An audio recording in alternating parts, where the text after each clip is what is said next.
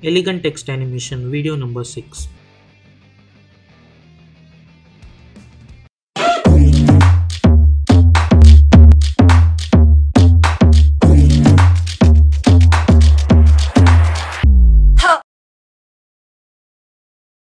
and the stroke width i'm going to choose 10 pixels and by holding shift let's create one ellipse like this then select this ellipse press ctrl alt home to align that anchor point to the center. Go to the align tab align it horizontally and then align it vertically.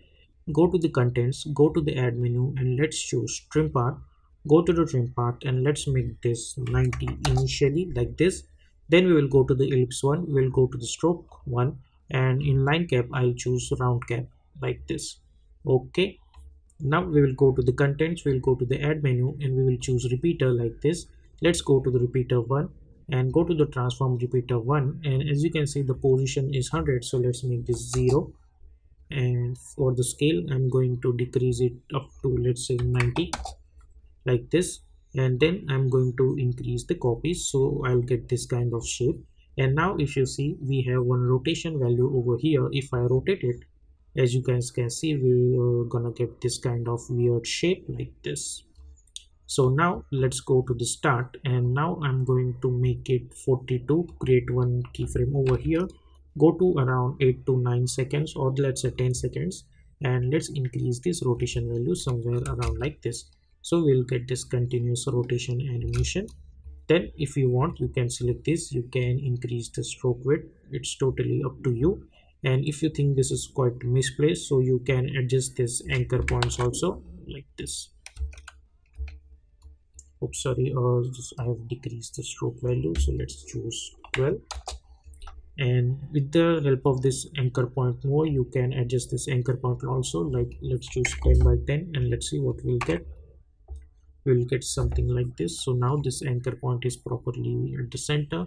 And now uh, as you guys know that we have created one trim path so let's create one keyframe at the start and let's go to around let's say two seconds and create another keyframe let's go to the start and let's make this zero.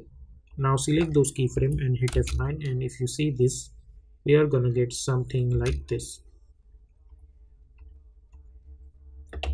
Now let's select this text and now we will type one text. Let's type motion and then let's type graphics. Select this text and let's decrease the size like this and decrease this distance. Now select this text press ctrl alt home go to the align tab align it horizontally and then align it vertically. Press s for scaling option and scale it somewhere around like this. Okay and now what we need to do uh, we need to create one rectangle and i don't want any stroke. I'll choose black fill and I'll delete the stroke. And we will create one rectangle. Press ctrl alt home.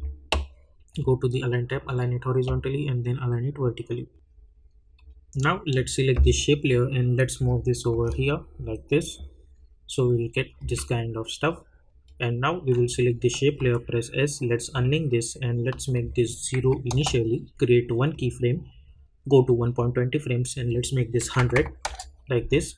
Select those keyframe hit f9 go to the graph editor select this graph by holding shift move this handle over here and move this handle over here like this now select the shape layer hit ctrl d hit enter and let's call it as mask.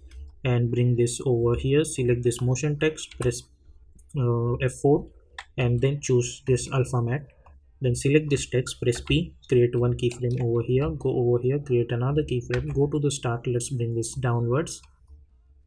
Select those keyframe hit f9 go to the graph editor select this graph by holding shift move this handle over here.